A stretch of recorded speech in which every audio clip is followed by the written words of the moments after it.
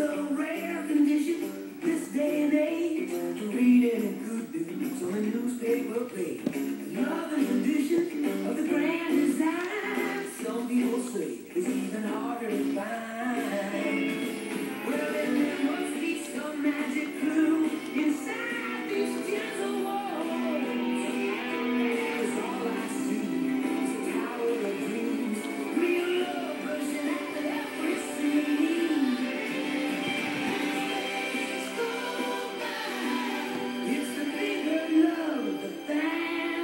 free.